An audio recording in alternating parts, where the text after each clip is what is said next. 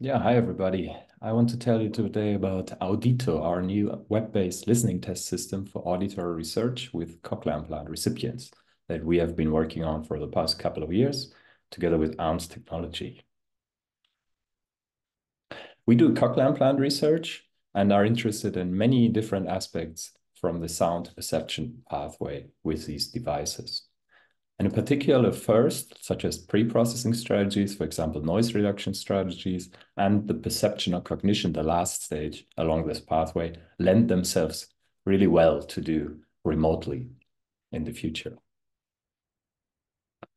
So why remote research with cochlear implants?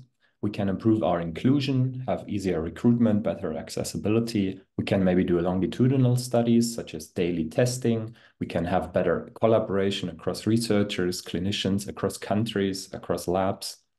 And we can maybe think of clinical applications such as checkups and reducing time and cost and research studies, which are now also taking place remotely. Previous remote studies found differences in speech perception between highly controlled sound booth environments and less controlled remote environments. However, these disappeared when they used um, direct high quality audio connections. And now we have a new opportunity that Bluetooth streaming is being integrated into the newest generation of cochlear implant speech processors.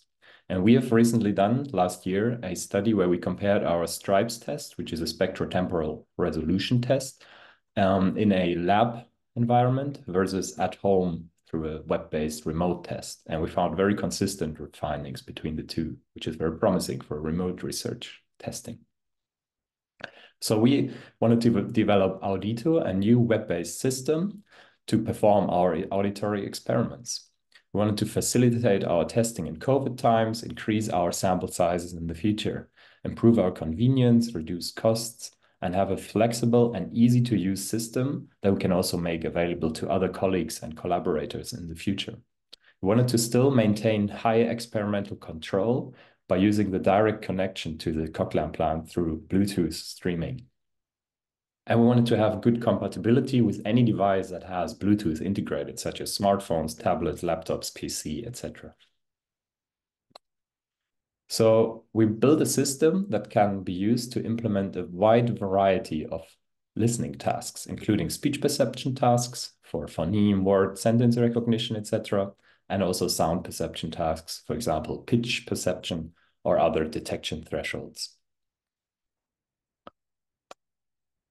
Because we want to use sound presentation via Bluetooth streaming, which is now, as I mentioned, being integrated out directly into the newest generation of processors, we have to take care of two main things.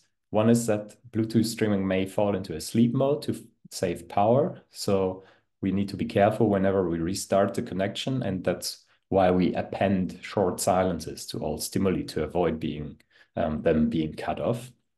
And then we also implemented a new connection check feature where we can test automatically whether the Bluetooth streaming is active or not. So this is how the Audito website looks like. We have a participant view where the participants log into the system. They see a welcome page and the tasks that they have been assigned to to do. And then they can go through these listening tasks and complete them at home whenever they want to. And we have a researcher view, which has a behind the scenes information where the researcher can manage the projects, the stimuli sets, and also set up new listening tasks and manage the results, etc.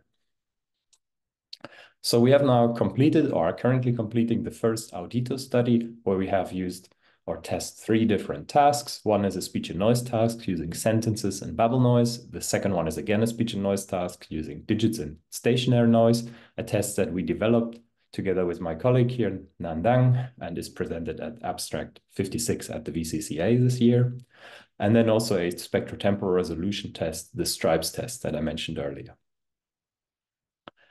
So for these three tests, we use three different um, response modes or input modes in Audito.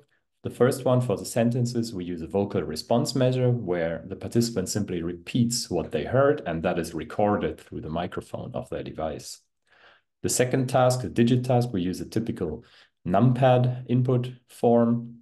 And for the third task, the stripes, we use a multiple choice task where the participant clicks the button button, whether it's the first or the last sent, uh, sound that was different.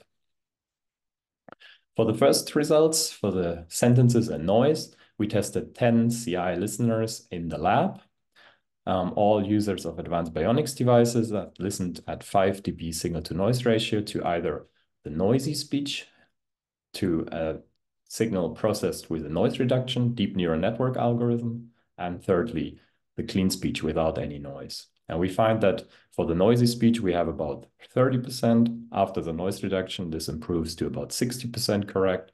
And then without any noise, we have basically perfect or 90% um, speech correct. This was now in the lab using a high quality audio direct connection. When we use in the lab testing the same 10 people, but using the Bluetooth streaming, we find super similar results here. And when we then tested 12 partly different listeners at home remotely with Bluetooth, we again find very similar results. Not only overall, but also the differences between these conditions are highly similar. And this is very promising because we would have found or drawn the same conclusions whether we would have tested this in the lab using an audio connection or remotely through Bluetooth streaming. For our DIN results, digits and noise test, we see quite a range of performance across our 12 listeners that we tested here remotely. But this range in scores is very similar to other studies, for example, by Jan Willem Wasmann, a recent study where they tested 50 cochlear implant listeners from the cochlear device and found a similar range of performances. So this is very much aligned with that. And then thirdly, for our spectrotemporal resolution task, again, we see a large range of performances, but these are also highly in line with our previous studies that we conducted in the lab here, and we find very strong correlations for those listeners that took part in both in the lab and remote testing. And we also find quite large correlations here with the other tasks. So to discuss, I think this has been a, quite a success so far for developing our new DIN test and also for our first research study to use this new Audito web-based system. It's very important to have a very good initial introduction and support material available to the participants together with ongoing communication via email, etc. And we had some technical difficulties, especially concerning these vocal response recordings, which sometimes just don't work because of the device participant used or whatever, then internet connection must be good and the Bluetooth connection must be set up by the participant correctly. We are now expanding our collaborations with other researchers and clinicians using this system, and we are currently working on further updates to Audito, for example, having anonymous logins and text response options.